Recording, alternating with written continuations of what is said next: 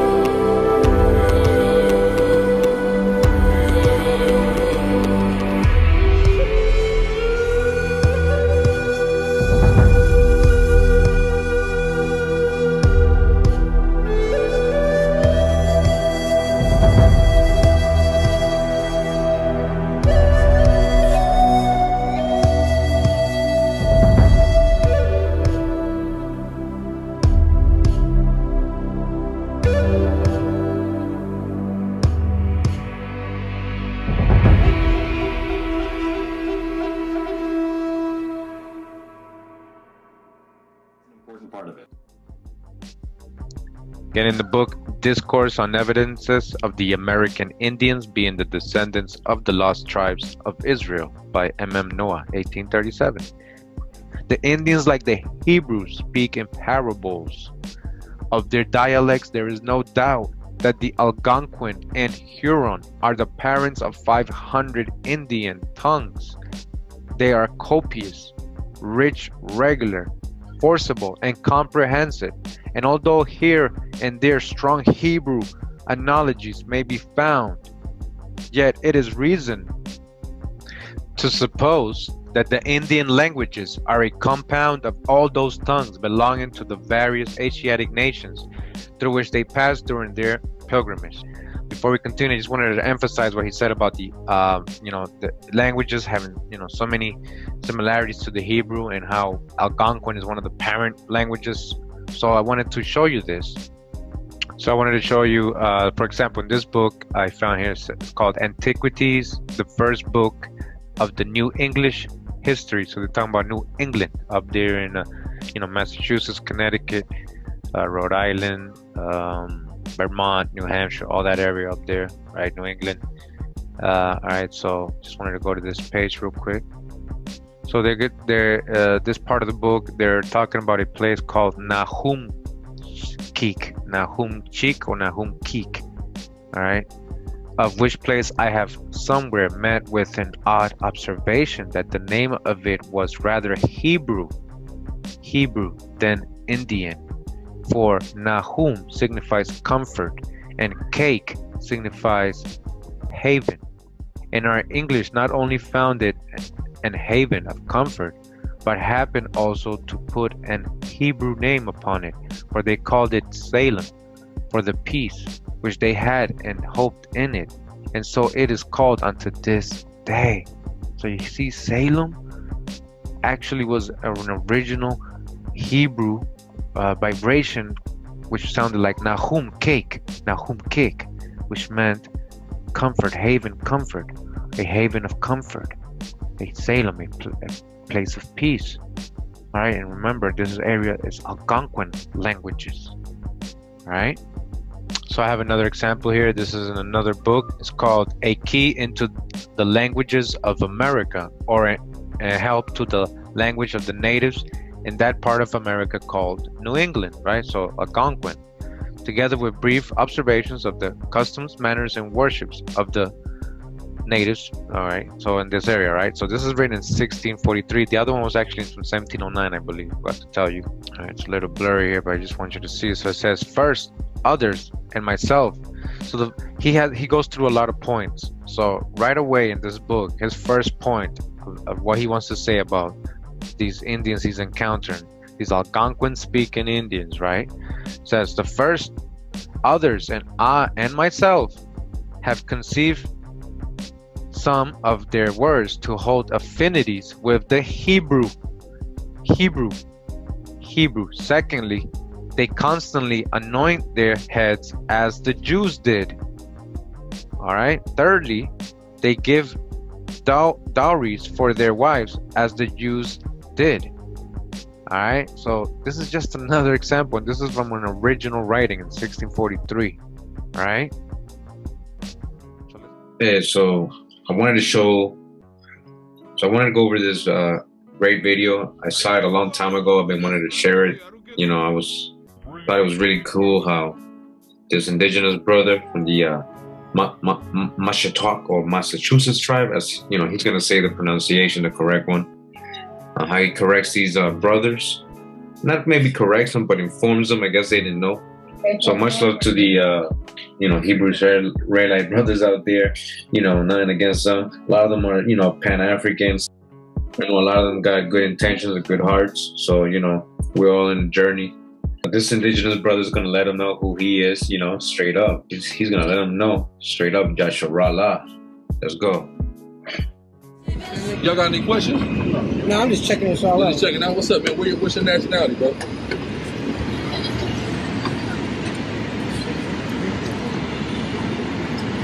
So what's your nationality? This is my tribe right here. Right. Nationality place from both. What But, it, but, it, but it's not Cuban though. It's incorrect. What's your, what, what is it? It's Massachusetts. It's a little different. What But it's? Manasseh. It's, it's the same thing. What you mean, like, uh, uh, uh, but your people come from Cuba? Nah, Which, where your people come from? Israel. Israel? What part of Israel? Israel that's here. Manasseh. Okay, but what do they call your people on this side of the earth? Massachusetts. Massachusetts? That's a native tribe? Yeah. All right. So let me explain. The brother's walking by. He sees the billboard, you know, the Hebrew Israelite brothers in the corner, you know, showing the different tribes and where they're located in America. So he, so he sees, you know, his tribe, which is the uh, Massachuock or Manasseh or Massachusetts, as we're gonna see, and he actually corrects the brother. He says, "Hey, but we're not from Cuba, man." He's like, "So where you from, man?" He's like, "Massachuock." He doesn't understand yet. He's like, "What is that? A tribe?" So he's gonna explain to him. And he let him know, "No, we're from Israel, right? What does he mean? We're from Jacob, right? We're Israelites. Israel is not a place; it's a lineage, is a family. Jacob, right? The descendants of Jacob, right? So listen to the brother. right? this is from the horse's mouth, so you guys can see what he's gonna tell him. Massachusetts state named themselves after Oh, our tribe. after, after, Massachusetts. Oh, oh, okay, okay. I'm with you. I'm with you. So it's just, but this is how the tribe is pronounced. Okay, Manasseh. So Algonquin language is the same as Israel language, As same as Hebrew language. Yes, yeah. sir. Yes, sir. Yes, sir. My Okay. language is very similar to this. Okay. Okay. Okay. So y'all, It's interesting. y'all, y'all All right, all right. So what did we just read in this book right before we got to this video, right? The brother just said that the Algonquin in the Hebrew is almost the same, basically the same. And he's telling you he's from Israel. He's the Manasseh, Masashwak. Right, and this book told us, remember Salem and all this, Nahum Kik. Nahum Kik was kind of Hebrew, sounded very Hebrew. All right, it's correlating with what the brother is saying, so pay attention. Interesting. y'all, y'all down here from from Boston now? Or the Yeah, Memphis from Maryland. area? You got it. Okay. Okay. Okay. You got it. Yeah, it was just interesting to see that. Yeah, yeah, yeah. That's it's I saw it early. I was like, yo, that's crazy. It's got our tribe on it. Yeah, they only got 565 federally acknowledged, Record acknowledged, yeah. but there's thousands that are unknowledged, and every single last one of you guys standing out here comes from one of those tribes too, that are unacknowledged by the feds, but acknowled by the Creator, which Okay, is more what you're saying is basically you're acknowledging that we all go back absolutely, to Israel. That's absolutely, absolutely. But everybody thinks Israel is somewhere else. That's also another what, problem. what are you saying? Are you you saying this Israel is Israel. America? This is Israel. Why do you believe that this is Israel? I'll tell you why I know that. Okay. Because 10,000 years ago, they found an ancient rock from my tribe, okay? And it was very prehistoric. It was about 10,000 years old. And the language on there is the same language as the Hebrew language, right? But also, what's interesting about this rock is that the story is the story of the Jewish high holidays, but it's ours. And then they replicated the story of the Jewish high holidays off of our actual um, documentation on the rocks. The story's off the rock. You see, you see, that's the problem. See, people don't know Yasharallah's over here. Israel, Yasharallah, the promised land, well, he means the promised land is over here. Yasharallah's over here. Alright? And he got the proof. He got a stone. Right? He's saying they replicated his story. They turned it into the Bible. Alright, that's his people's story. That's how he knows. How you gonna tell him? That's his people's story. Alright, we're gonna get it one more time. Pay attention to the brother what he got to say. Alright? Because everybody think it's over there in the Middle East and it's not. I'm gonna let an Israelite tell you where it's at. But everybody thinks Israel is somewhere else.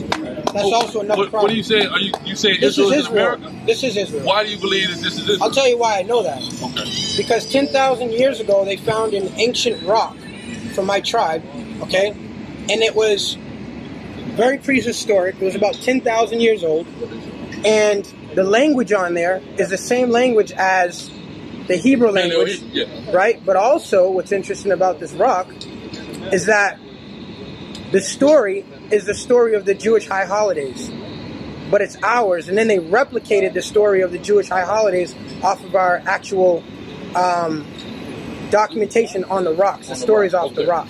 Yeah, absolutely, man. What's your name, brother? Yeah, Chief Wampamikum Wampatuck, man. Real Chief, pleasure, man. Right? Yeah, real from, pleasure. From a chief to a chief, man. Yeah. It's good to meet you. man. What's Pleasure, your name, man. Pleasure, man. Oh, Pleasure, man. Pleasure. What's your name, brother? I'm Sergeant at Arms. My Alice. Alice.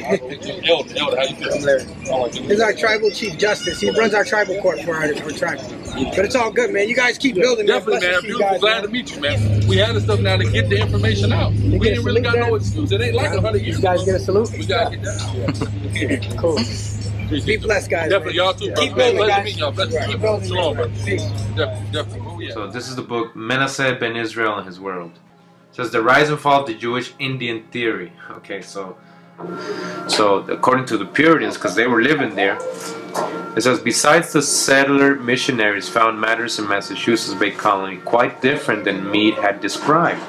They found docile, friendly Indians, some of whom wanted to become Christians, according to them, right? I don't know if they would really want to become Christians. They established schools for them and they tried to get the great John Comenius to use Harvard as the center of universal enlightenment for Indians and Europeans. They translated the scriptures for the Indians.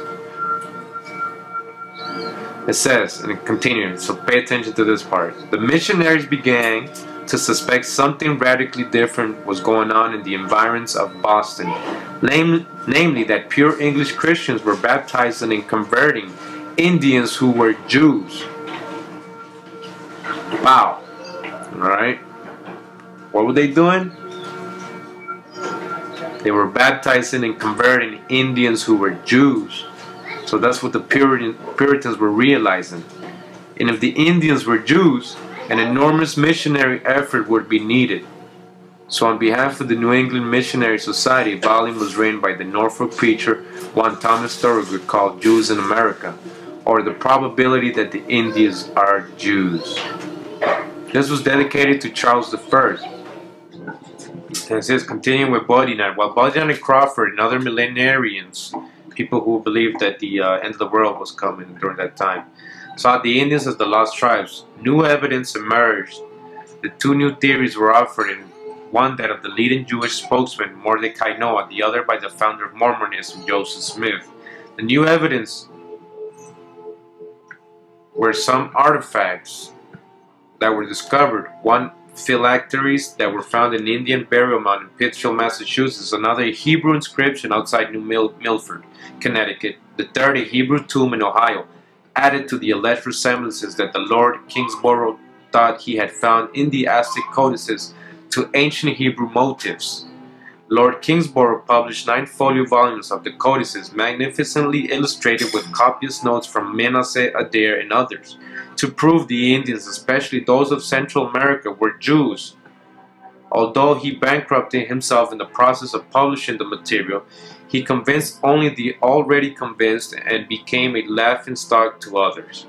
The Hebrew inscription in New Milford was examined by America's greatest Christian Hebraist, Ezra Stiles, president of Yale, okay, Yale University again, who guessed it was somebody's name. No one in the area could be found who was Jewish or who knew Hebrew. So a, so a suggestive mystery remained. The phylacteries were a more exciting find. When it was realized that these are used by a Jew in his morning prayers, the physical object was found around 1820 halfway down a pile of Indian bones in a burial mound. Because of the Hebrew letters contained in the object, Christian scholars from Harvard were consulted who identified the object for what it was. But how did it get to where it was found? An intensive investigation was carried out to find out if any Jewish traders had been in Pittsfield, if any captured British soldiers had held there were Jewish, with negative results. The great Jewish convert, the Reverend Joseph Frey, who gave 30,000 sermons in America, said he had never spoken in Pittsfield, and the phylacteries were not his. Says the literature of the period indicates that this discovery was taken very seriously as pointing to the possibility that the Indians were Jewish. No other explanation could be found for the phylacteries being where they were found. The item was deposited with the Massachusetts Historical Society for further study. By now, when some of us would like to see what was discovered, however, the item has been lost. Here we go again. The item was lost. Like everything else that doesn't fit into history. All right, so I'm in this book now. It's called uh, Publications of the American Jewish Historical Society, number 11. And we're going to go to page 75 of this book. And it says here, The Jews of New England, other than Rhode Island prior to 1800 by Leon Hunter AM. says the Puritan Revolution in New England had awakened a keen interest in the Jewish race, and this interest was powerfully reflected in early New England history. It is in Massachusetts that this tendency was most strongly exhibited in Massachusetts. Hmm. Hebrew was carefully taught at Harvard College and the restoration of the Jews was one of the most popular topics. The restoration of the Jews, all right? In 1649, Eliot, the missionary, announced that the Indians were of Hebrew origin. Whoa, what? Yep. John Eliot, right? He also translated one of the first Bibles into the Algonquin language. Actually, the first Bible in the US was in Algonquin. It was done here by supposedly by John Eliot. And it says here that in 1649 he announced that the Indians were of Hebrew origin.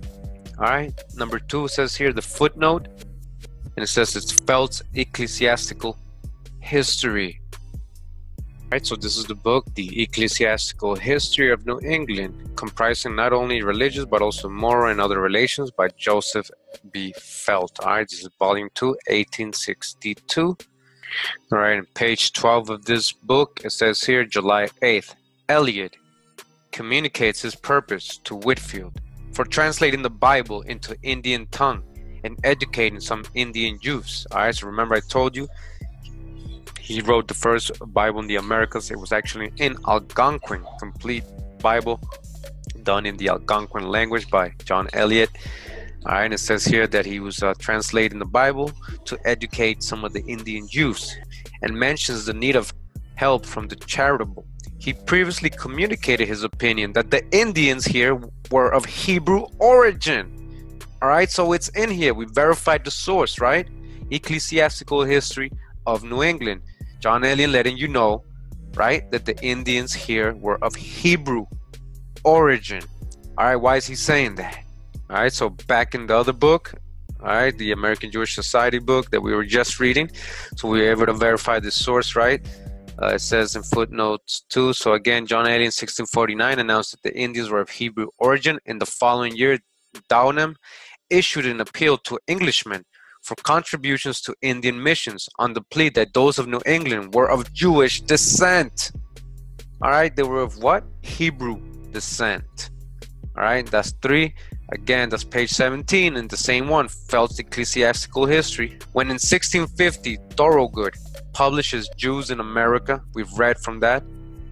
Eliot of Massachusetts at once proclaimed that the 37th chapter of Ezekiel principally applied to the Indians as such use. All right. So John Eliot's letting you know that the 37th chapter of Ezekiel principally applied to the Indians. All right, and stated that the New England churches were the preface to the New ha- ha- Havens. All right, you see what's going on in Massachusetts in the 1600. Go back in the book Ecclesiastical History of New England. All right, in page 17, just want to go ahead and verify that.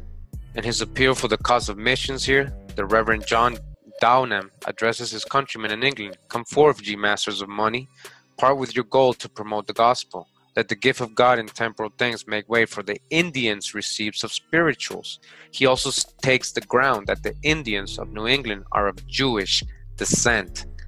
All right. And we're still in the book, uh, page 22, Ecclesiastical History of New England. It says, This year, Mr. Thorogood publishes a treatise. This is page 22. This year, Mr. Thorogood publishes a treatise in England entitled Jews in America, or Probabilities that the Americans are of that race.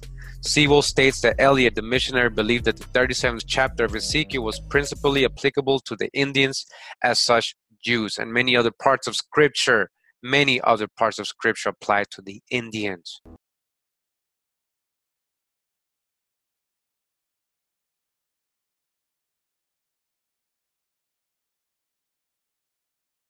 All right, back in the book, American Jewish Historical Society, number 11.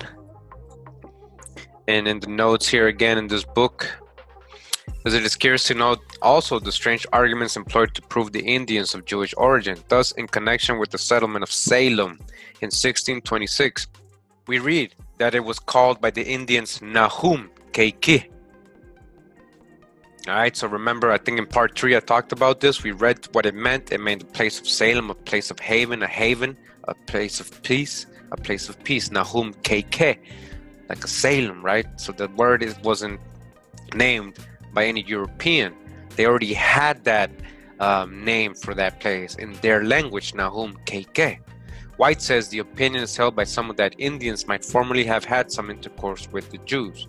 However, it be it falls out that the name of the place with which our late colony has chosen for their seat proves it to be perfect Hebrew. Being called Nahum KK, I told you that's a Hebrew word and it means place of uh, a haven, a place of peace, or Salem. By interpretation, the bosom of consolation.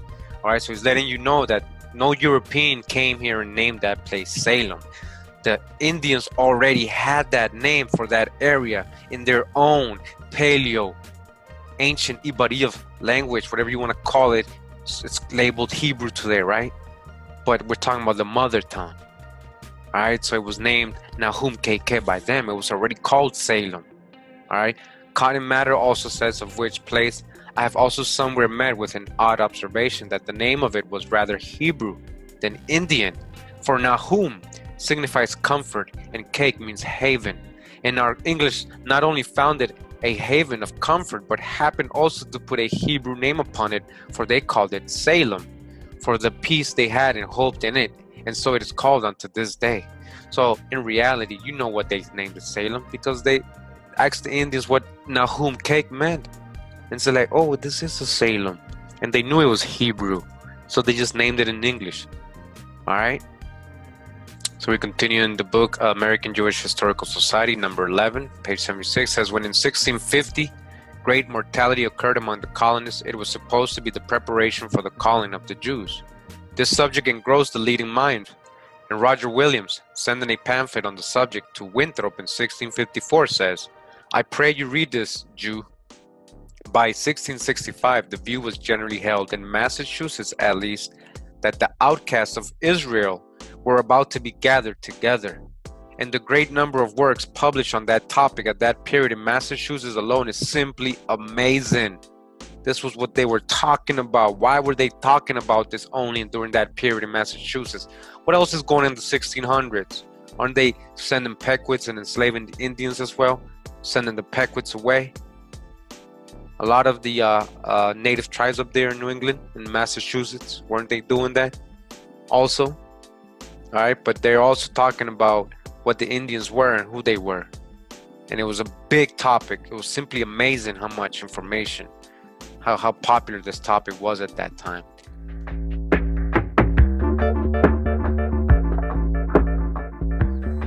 Since delivering the present lecture, I have received a letter from Mr. Catlin, the celebrated painter, and we know who that is, right? From a Aboriginal to uh, American to African American videos. He was one of the uh, actually wrote about the copper colored uh, natives, their hair uh, styles. Uh, he painted them the way he painted them. You know, the copper complexion, so-called Negro complexion, and some of the paint, most a lot of the paintings actually.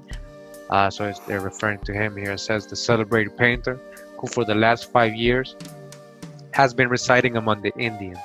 Mr. Catlin says the first thing that strikes the traveler in an Indian country as evidence of their being of Jewish origin, and it is certainly a very forcible one, is the striking resemblance which they generally bear in counter and expression of head to those people. In their modes and customs, there are many striking resemblances, and perhaps as proof they go much further than mere personal resemblance. Amongst those customs, I shall mention several that have attracted my attention, though probably they have never before been used for the same purpose, and others I may name, which are familiar to you, and which it may not be amiss to mention, as I have seen them practice while in their country. The universal custom among them of burying their dead with feet to the east, I could conceive have no other meaning or object than a journey to the east after death, like the Jews who expected to travel underground after death to the land of Canaan. On inquiry, I found that though they were all going towards the setting sun, during their lifetimes, they expected to travel to the east after death. Amongst the tribes, the women are not allowed to enter the medicine lodge. They were not allowed in Judea to enter the court of Israel. Like the Jewish customs also, they are not allowed to mingle in worship with the men and at meals are always separated. In their modes, fastings, feastings, or sacrifices, they also have uh, they have also a most striking resemblance. Amongst all the Western tribes who have not been persuaded from those forms by white men, they are still found scrupulously and religiously adhering to and practicing them to the letter. The very many time, times and modes of sacrificing remind us of forcibly of the customs of the Israelites, and the one in particular, which has been seen among several of the tribes, though I did not witness it myself, wherein, like the manner of the peace offering, the firstlings and that of the male is offered, and no bone is to be broken. Such circumstances afford the strongest kind of proofs. All the tribes have a great feast at the dawn of spring, and at those feasts their various sacrifices are made. At the approach of the season of green corn, a feast of the first ears are sacrificed with great solemnity, followed by a feasting and dancing. So at the ripening of different kinds of fruit, the first and best piece that is cut from a buffalo is always Deodante. Over the medicine lodge, and Also, over the lodges of the most distinguished chiefs are hung on high poles large quantities of fine cloth, white buffalo robes, or other most costly articles which can be procured there to decay and offering to the Great Spirit. The bunch of willow boughs with which each dancer is supplied in the Mandan religious ceremonies, the sacrificing and other forms therein observed, certainly render it somewhat analogous to the Israel Israelitish feast of the tabernacles. The universal practice of solis cum sola of the women ablution and anointing with bear's grease is strikingly similar to the Jewish custom. Every family has a small lodge expressly for this purpose, and when any of the family are ready for it, it is erected within a few rods, and meat is carried to her where she dwells, and cooks and eats by herself, an object of superstitious dread to every person in the village.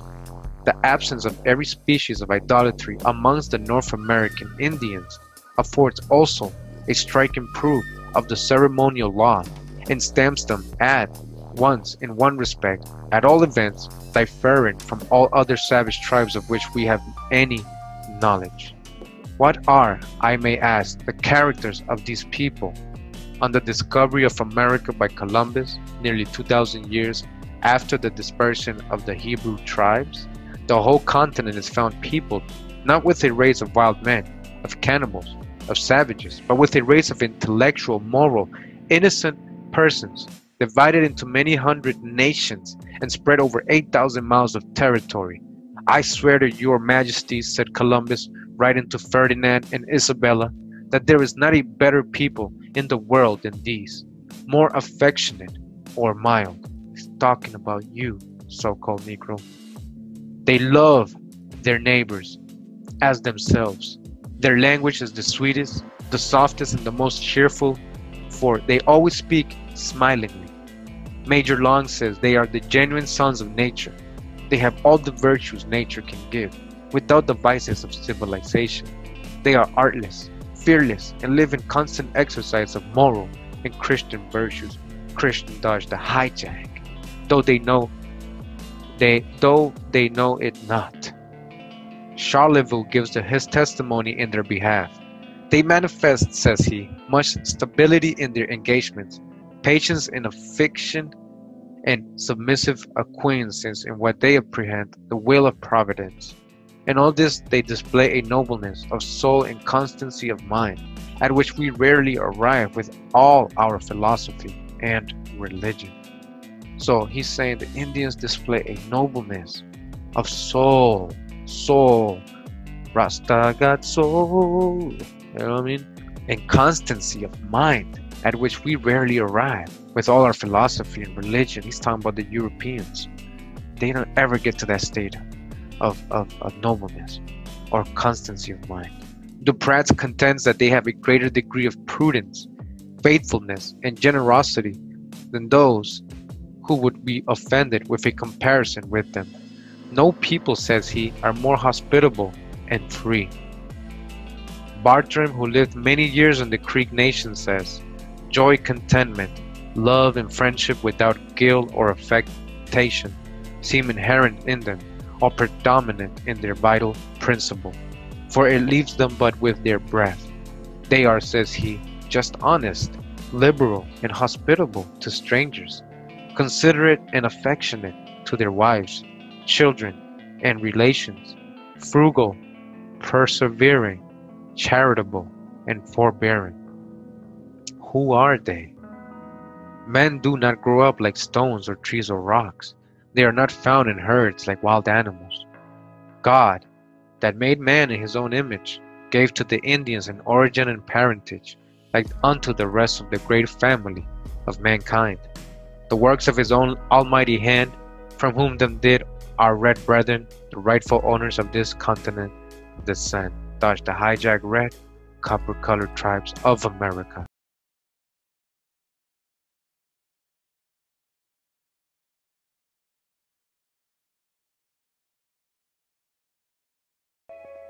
If the Indians of America are not descendants of the missing tribes again, I have I ask, from whom are they descended? So you see it goes on and on. They're trying to figure out who you are. And again, Drop Nation, if they cannot tell you who you are, how can they tell you who you're not? They are so intrigued. They are so confused. You know, they want to know so bad. Who are you? Who are they descended from? The Egyptians? You know, where was ancient Egypt? America. So maybe where in their beliefs is there at least resemblance to the worship of Isis and Osiris, or the hieroglyphics or historical reminiscence of that very ancient people? Are they part of the fierce Scythians? Their warlike propensities would prove them to be so, but were among the barbarians do we discover the belief in one great spirit, together with the softer virtues, the purity and talents of the Indians. Are they of the Tartar race? Their complexion, the shadow livery of the burning sun, might be off offered in evidence. They have not the flat head, the angular and twinkling eye, nor the diminutive figure of the Chinese or Tartars. The Indians have distinct Jewish features, and neither in mind, manners, nor religion bear any affinity to the Tartar race. I have endeavored to show this by their traditions, by their religion, by their ceremonies, which retain so much of the ancient worship. But there is one proof more, which in my mind removes all doubt. Sir Alexander Mackenzie, in his journal on a tour to the northwest continent of America, declares, from his own observation, that the Chippewa Indians practice circumcision, which fact is corroborated by several other travelers amongst the various tribes. We owe the people of Abraham, Isaac, and Jacob, we owe our support and our allegiance.